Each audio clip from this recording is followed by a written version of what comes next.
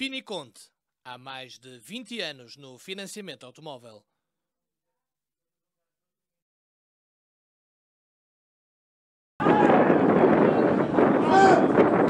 Exatamente! Delegado, delegado!